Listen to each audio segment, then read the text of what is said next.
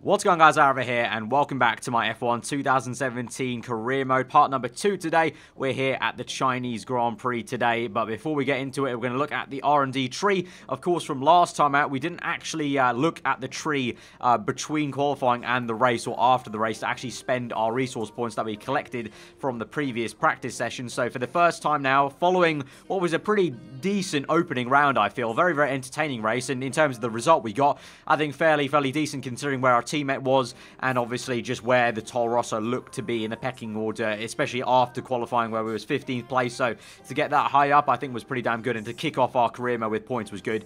But generally, I think the Toro Rosso, in my opinion, I think what it needs is going to be chassis development and aero development straight away. I don't think we're going to need power uh, necessarily right now. Maybe durability, but at the moment, obviously, you can see looking at the engine, it's not too bad. The gearbox is not worn, uh, worn that much. Obviously, it's only been one race, so for now, we don't need to worry about durability. So we're going to leave that top half of the tree and pretty much the left-hand side of the tree, which is the uh, power train, basically, and take a look at the right-hand side and the bottom side for the chassis and aero. We're going to actually start things off with chassis weight reduction, so that's the very first pinpoint thing we have to do. We can, you, can, you have to basically select that first one to continue on. You can see we've got different elements that we could go to. If you go to the bottom of that side of the tree, you go to tire wear. If you go to the left, you're going to go more towards the actual just general weight reduction and whatnot. So that's going to be the way, the way we're going. Tire wear obviously is a, bit, a big factor in potentially some of the later rounds. So I think it's a good first step, and that's obviously going to take one entire uh, week to do. So if you look on the right-hand side, when it says week, it pretty much means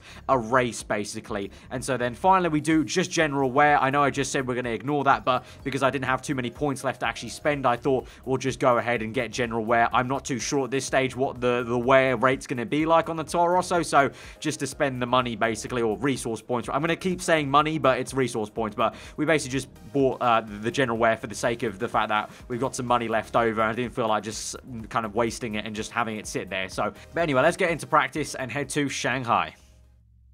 This weekend Caesars arrive in Shanghai for the Chinese Grand Prix. First up is today's practice session. Welcome then to all our viewers and of course to Anthony Davidson as well. Now Ant, I wanted to ask you, obviously there's a lot of hard work involved in these sessions, a lot of simulations as well. Is this something the drivers enjoy or is it just a routine that becomes a chore? There's nothing routine about driving a Formula One car, I can tell you that. 300 kilometres per hour down the straights, 4G through the corners. It's hard to ignore those forces acting on your body. It's lap after lap of hard, exhausting work. You always enjoy driving these cars. It's a real privilege. Although I must say, if you're having a day where you can't get the car to do what you want and it's generally underperforming, then it's a lot harder to stay motivated. But never a chore, no. Even if you're having a tough start to the weekend, at this point you know that if you work hard at it, there's still an opportunity to turn things around. So wasting no time at all, we're getting straight into the practice programs here at China. You can see uh, track acclimatization actually not that great for me. I've missed a few of the gates there. You can see a few red dots, but we get enough to at least get the green target on that. And then we moved swiftly on to the tyre wear test, which from last year's game, uh, it seemed a little bit, uh, a bit of an easier time this year. Last year, I know it was definitely a struggle to do the tyre wear test because uh, your tyres would basically blow up into turn one. Uh, but it was okay this time around. Fuel saving was very, very good actually. Obviously through the final bend onto the back straight. If you lift off and just coast the car through, you can really get the bar very, very fast onto the purple. So I recommend doing that if you're struggling maybe to get the, the fuel saving done. And then we did the race strategy, of course, uh, the sun on the sunlight. And then we did the setup work a little bit. Little did I know, actually, uh, it's all, it was all dry in practice, but it's actually going to be uh, raining for qualifying. So I didn't know that at this time. I didn't actually check the weather indicator. So this entire time, I was just looking at trying to set the car up as if it was going to be a dry race. In, high, in, in reality, actually, I don't think it's going to be too bad for us because you saw the setup there running, you know, pretty, I mean, uh, it was just a little bit different from the default setup, but it wasn't as if I was running very, very low aero because of the back straight. And qualifying in terms of that, we hit the target, so looking very dandy on that. So let's get straight into qualifying then. Practice is pretty much done. We'd like to welcome you from wherever in the world you join us today for this F1 qualifying session here in Shanghai, China. With the weather as it is today, Anthony Davidson, we have, to some extent, to throw the form book out of the window. Who do you see having the advantage on this slippery, unpredictable track surface? Traditionally, these are very Adrian Newey conditions. The Red Bull's habit of creating incredible downforce coupled with the high rake they like to run is perfect for the wet, and it's helped them close the power gap a number of times over recent years. I think Force India as well, always a bit of a dark horse in changeable conditions, and of course the McLarens have a fairly good chassis. Having said that, I don't want to make a firm prediction. More than performance, the deciding factor is going to be the timing. The level of wetness out on the track is going to constantly rise and fall, and anyone who can find that perfect window when it's at its driest will have a big advantage out there. Right, it's showtime. Qualifying in the wet. Our first outing ever in the Toro Rosso in any sort of wet conditions, obviously. We didn't have any rain at Australia, thankfully, but we'll see how it goes here in China. My team actually fueled me up for quite a few laps. I think they put in about nine laps of fuel, so this entire session, basically, I just kept on the same set of intermediate tyres. The tyre weather wasn't too bad, and as we went through the session, basically, I was getting better and better at the conditions. We set an initial lap time, which was very, very poor. You saw into the S section, I was understeering quite a bit, and basically, as I just said, we just continued on. I got more and more comfy with the car, with the conditions, kind of sussed out, okay, I need to brake a little bit earlier here, maybe get the tar uh, car turned in at this place, or, you know, just generally sussing out uh, the best kind of lines, obviously, because sometimes, you know, going wider may help, sometimes kind of braking earlier, nipping in earlier to get the uh, nose turned in, get the uh, on the power earlier is going to get you a better lap time. You can see on the top right, gaining hand over fist in terms of our lap time compared to our previous lap. Still going opposite lock a little bit, so still not fully comfortable, but obviously it is the Toro Rosso, and we go across the line right now. At the moment, it's P4. Some people yet to uh, set their lap times yet, though, and so we're going to go for another run through turn one. This one I don't think actually ends up being uh, another kind of good improvement run. So we actually just kind of skipped over that one. So we did an extra lap of not actually setting a good lap time. Then we came round again and basically just did a, that was basically a warm-up lap. And we come through for a fifth lap now, come across the line, and it's going to be, what is it going to be? It's going to be P7. P7. Very, very decent. Very, very decent, actually. P7 here at China. Second qualifying only. I'm happy with that. I'm very, very happy with that. Carlos Sainz comes uh, in 13th place, so we beat our teammate very comfortably in the top 10, our second qualifying only. I'm very, very chuffed with that. And I think that was a 1-2 for Ferrari. I think that was. I, I, can't remember there just a couple of seconds ago. But anyway, as we come through just between qualifying and uh, the race, unlike Australia, I actually remembered to look in the R&D tree. We have enough points now, so I debated which one to do, front or rear aero. Now, looking at that qualifying session and practice in China and Australia, I'm going to go for the rear downforce. I think we're going to need that. It's not going to affect the drag, so that's good as well. So that's what we've gone for. Let's get now into the race. It's not going to be plain sailing for our drivers today. Although with the sky falling as it is, perhaps sailing isn't too far from the truth. And Anthony Davidson could be a wet one today. Great to have you with us. What are your thoughts? It is a touch damp, isn't it? Well, as a driver, there are three big things to worry about when racing in these kind of conditions. Standing water, tyre temperature and visibility. Judging distance to the cars around you is really tricky when you're driving through the vast amounts of spray that these wet weather Pirelli tyres kick up. With that then, let's run through the grid order. Kimi Raikkonen starts today from pole position, and it's Valtteri Bottas that completes the front row. Looking down the rest of the grid we have Hamilton, Vettel, Max Verstappen and Massa, a Toro Rosso, Perez, Grosjean and Nico Hulkenberg, Ocon, Stroll, Carlos Sainz and Magnussen, Palmer, Alonso, Marcus Ericsson and Stoffel Vandoorne, Wehrlein and Daniel Ricciardo rounds off the grid. Now it's almost time to lights out, so let's go down to the track. So, as you may have guessed from Crofty's commentary there, there is some rain forecast here. You can see there's actually rain coming down at the start of this race, but my team and it looks like the game is uh, saying that no, we're all going to start on dry tyres. I'm unable to actually change my starting tyre to inters, even though it is actually literally raining right now. You can actually see a few spurts if we go back to the uh, kind of in-cockpit cam screen. So, it's looking like we're going to start on a set of super soft tyres. I've changed it to super softs because it initially said soft tyres, but we're going to start the fastest tyre available. We go to five red lights to the Chinese Grand Prix, round number two of this season. We're underway very gingerly there, bit of wheel spin in second and third gear, but generally a good getaway, A bit of a bang of tyre there with the Force India car of Sergio Perez, and there's a bit of contact up ahead, and that's a Williams half round, and yes, he's completely ran Massa off on the grass there. We make a move down the inside of Sergio Perez, yellow flags momentarily, but now it's all good and all green. We actually nip it around the outside of Max Verstappen, who's been caught out napping a little bit through turns two and three, trying to feed down the power. You can see going opposite lock, narrowly, narrowly, just missing some contact there with his side pod with my left front tire. But now we'll try and nip it down the inside of this very infamous corner where we saw, saw so many dive bomb moves in real life in the 2017 season. And on the exit, really, really opposite lock. But look at that. Verstappen actually doesn't have the traction in the Red Bull car. And we've actually done him there on the exit of the corner. So we're up into fifth place now. And we're actually doing pretty damn well as we move on to lap two. Yellow flags. And that's actually going to be for Max Verstappen. Sergio Perez overtakes him into the hairpin. We're going to go very, very deep. A lot of understeer here because it still is raining. You can see clearly on the screen the little spits of rain coming down the screen. But you can see as we look back, Max Verstappen out of this race. So I'm pretty sure that must mean he had a mechanical failure from the get-go from five red lights. Unfortunately, obviously his teammate Ricciardo already had calamities in qualifying starting at the back of the grid.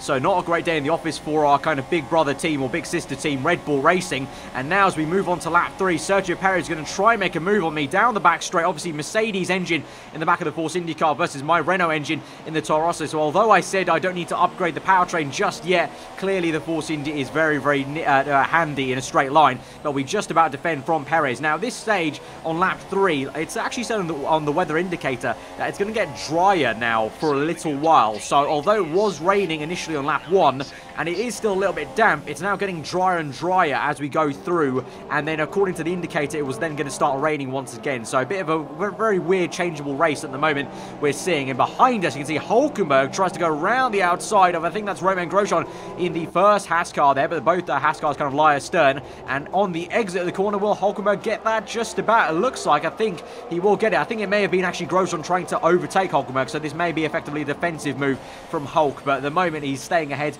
of Grosjean, and for now we're still staying ahead of Sergio Perez. We've got more yellow flags behind us, so is that another car going to go out of the Grand Prix? 17 runners only, so there's someone else also gone out with Max Verstappen. It's going to be Esteban Ocon, so Perez's uh, Force India teammate there out of this Grand Prix, retired seemingly again from a mechanical failure, so we've seen plenty so far. Obviously, it's the beginning of the season, so teams are going to be a little bit unreliable. It's not just me that could be susceptible to reliability. It's great to see the AI are, and that definitely is something that the AI are capable of. You know, that's what's meant to happen at the beginning of the season. Everyone's meant to be a little bit, you know, timid and uh, unreliable. As I'm talking about that, though, you saw Perez overtook me with ease as I, I was caught basically napping going into turn two on the left-hander. Just kind of went too deep, and Perez just straight uh, straight away just switched back to me and got the traction down. So unfortunately, we're down now to P6. I say unfortunately, P6 is a very lofty height, really, in reality, for a Toro Rosso car, I think. We're doing pretty damn well so far, but now Grosjean is going to try and spoil the party. He's going to go down my inside. We've got DRS open from Perez, but Grosjean, I think, had DRS off me, obviously, so we go deep. I tried the switchback move, and it just didn't work. Grosjean actually just completely had me. I don't know why I tried it. I thought I could maybe get good traction. Didn't really. At this stage now, it is definitely dry. It's dry enough for these slicks, but I was actually just too timid, I think. I, I was just too timid, and I was looking at the track surface, and you can see it still looks pretty damp, so I think it was just kind of a mind thing and a mental thing for me that I wasn't able to have the confidence to get the power down as early as I could do in these conditions, and eventually I start to get my composure back on lap 7 on towards lap 8. I start to come back at Grosjean and Perez, but at the same time, Hulkenberg still closing me down. You can see we're setting green sector times as we come up to the end of the second sector split, so we are finding that groove once again, and we are closing up visually. You can see Grosjean a lot closer, but Grosjean also very, very close to Sergio Perez. Within DRS, probably, we get a little bit opposite lock through that swooping right-hander, so not fully flat yet in these uh, kind of half damp conditions. But Grosjean up ahead, you can just about see in the distance, is going to go for the move. He moves to the right-hand side of the circuit to go down the inside. We're in rich mix momentarily, move it back down to standard because at the moment we are on low fuel. Grosjean up ahead, just about squeezes out Sergio Perez there, so a good move for the Frenchman in the Haas car, but then it looks like he's actually going to dive straight into the pits. We're going to continue on with Perez, so looks like Grosjean feels like, well, he's on the super soft tyres, Hulkenberg's on soft, so me and Perez are going to go on. You can see the tyre wear there briefly, it is quite poor, but I feel like if, you know, on the indicator it said it was going to maybe continue to rain again, and it definitely is now as we go on to lap 10, so I just saw no point of uh, coming in, so I think Grosjean's kind of messed himself over there, because he's, he's effectively kind of ruined himself by an extra pit stop coming in for another set of drives. because now I say box in this lap to my uh, mechanic, because by the time we get to the end of lap 10, it really is way too damn double lock up there, go wide, and actually as we look back behind us, Hulkenberg sends it down the inside, bit of contact made there, because I lose the rear end, and unfortunately unfortunately, Hulkenberg is kind of just there as a bit of a wall to stop me spinning. And then we go side by side with Nico. We go down the inside, and we just about get it and keep it ahead of him into the pit lane. But you can see so, uh, so, so close with the Williams car there as well. Nose to tail between myself, the Renault, and the Williams car. And we just about make the pit lane. So I'm kind of very, very lucky. That was literally so on the edge so, so on the edge that I actually made that pit limiter there. But we're going to come in now for a set of intermediate tyres. Finally, now you can see it very uh, with the sheen on the pit on the pit lane. It definitely is now time for the green wall intermediate tyres. And now, well, not too sure. It's still early on this Grand Prix, so I would say maybe to end the race, but I, I just don't know the tyre wear on these intermediates. Obviously, uh, we did uh, some laps in, uh, in qualifying. We did five laps, and we're still able to improve our lap times after doing five laps on the same set of inters in qualifying. So I, I think they're going to be pretty durable. I just don't know. We're going to have to kind of just judge it as, as we go, really. Maybe kind of copy the AI and see what they do. But at the moment, we come out uh, ahead of Lance Stroll. Looks like he jumped Nico Hulkenberg, actually. So pretty good for us, maybe, or maybe not. I don't know how good Stroll's going to be in the wet. But now it's a case of to get our head down and just try and chase down Sergio Perez there, you can see he's a few seconds up the road. But just briefly as well, onto the end of this same lap, lap 11, you can see on the top left, we're at the moment P8 out of P17. You can see on the mini-map, we've got two cars there, including my teammate, who's still on softs. I just... Uh, that's just frustrating to see. So Sainz has kind of ruined his own race there. But we move up into P6. So we're still in a very, very good place in this Toro Rosso car. And by lap 17 now, so we've cut six laps later. So literally all those six laps, you've missed nothing. We have just been pushing hard, trying to find the rhythm in the wet. And by lap 17, we're finally catching up to Perez and making headway into the first few turns, right up his gearbox now and trying to set up this move. But you can see now visually, so much more rain is coming down the screen. You can see all the drips coming down. They've definitely improved the way it looks now on this year's game in terms of it just looks so much more of a tricky situation. Like, I, I actually, I'm not going to lie, into some of these corners, it was a case of almost trying to wish that some of the droplets could kind of move out of the out of the way of looking at the brake marker boards because sometimes they were in, in the way, I just couldn't see it. But now we get a great bit of traction now, and we're going to try and go down the inside of Perez. It's going to it's going to eventually turn to the outside for the next part of the S section. We didn't quite make it side by side with him then, but for the second part, we do find the grip round the outside. It will turn to the inside now for the double left-hander. Perez is still going to be there around my outside. He gets a better entry into that left-hander, but in the second left-hander, we're going to try and squeeze him out. Still side by side with Perry, so a brilliant little battle in the wet here on the inters, and I was oh, surely going to get this now as he goes round the outside. No, we break early now, and you know what? I'm going to kind of go a little bit wide, going to cut back in, do a bit of a switchback, try and get a better line into this corner opposite lock, but we feed the car through, and you can see there Perez has a real, real big issue on the uh, middle way stage of that swooping right-hander and onto the back straight. We're overtaking him and we're up into now what is a very lofty P5 for a Toro Rosso car. I think, you know, Toro Rosso, you don't expect it, you know, in normal conditions to be up in P5, even especially in the wet, really. So I think we're doing a fantastic job so far. Although to say that now, completely jinxed it in the commentary because now we go so sideways into that swooping right-hander on lap 18 and Perez gets back behind us. So, you know, still able to make mistakes. And this year, definitely for sure, for now I can say, if you do make a mistake on this year's game, the AI will punish you. They're that aggressive. They will they will punish you if you make a mistake. Not just in the wet, even in, in the dry. I found in Australia, you just have to concentrate so so hard and just you know like very like it kind of is in the real life season. you're just flat out every single lap. There's no time to rest, and if you do just lose concentration, the AI will close you up and they will try and overtake you. So you saw there, Perez did pit in a little bit earlier than us, uh, two laps earlier. We continued on for two more laps till lap 20 until I decided, now nah, let's just come in for safety's sake.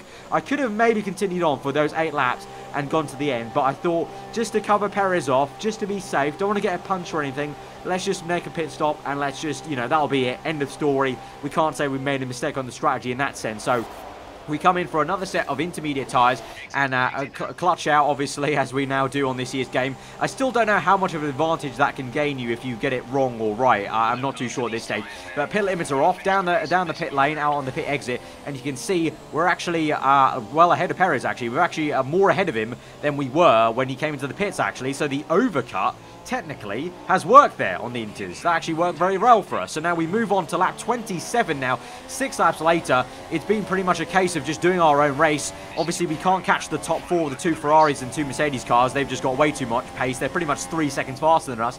They're pretty much an entire half a lap ahead of us. But as we move on to the last lap, in all this kind of, oh, doing my own race, just making sure I'm staying ahead of Perez, I make a fatal blow. Um, and I think you can see what it's going to be on the right-hand side of your screen. I run out of fuel. I did not check the fuel indicator. I was on standard the entire time, and I thought, oh yeah, surely we'll be fine, because we were fine before the pit stops, and now... Oh... Oh, God. Absolute calamities. Absolute calamities. I've already bottled it, and it's only been the second race in my career mode here. It's day one of me uploading this career mode, and I'm already bringing out the absolute calamity disaster here. Across the line, we still come home for points, one point to be exact. We still beat our teammate. So in all of this, the game's actually still going to re reward me for beating my objective and beating my teammate, but... Wow. I mean, I wasn't the only one with calamities, because actually, looking at the replay camera, Fernando Alonso retired on the last lap of the Grand Prix. Very realistic stuff. The Honda engine gives up on the last lap of the Grand Prix there, but wow, calamities from me from what could have been a brilliant, brilliant P5 to P10. So, another excellent win from Ferrari. And I have to wonder, Anthony Davidson, just what set them apart from the competition here. Well, keeping their tyre temperatures up in the tricky wet conditions was really important. There's not much grip out there at the best of times, and it's 10 times worse if you're out there on cold tyres. So the way they kept the rubber in its proper operating window was a huge advantage today. And as we can see, it's time for the podium, and as the drivers make their way out, there's a familiar red suit making its way to the top step. Fantastic win for Ferrari.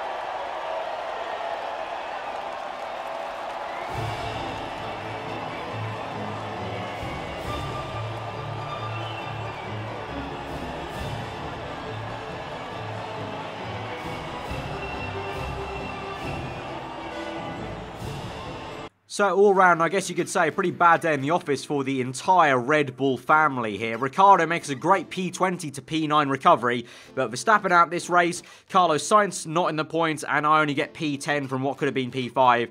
Yeah, not brilliant, not brilliant there from us, but we, as I said, we still actually beat our objective. We still beat Carlos, so we actually still did well. You can see on the reputation level, uh, actually still positive. So it, it could have been worse. It could have been worse. At least we did that. I mean, that's just that's just a little tiny bit of redemption. But guys, if you have enjoyed it anyway, smash the like button. Let me know what you thought in the comments below. If you're new around here, then do get subscribed for more F1 2017 career mode this week. There'll be plenty of videos being uploaded over this entire week, so do get subscribed for that. But I hope you guys have enjoyed it. I'll see you guys next time. Hope you enjoy the rest of your day. Goodbye.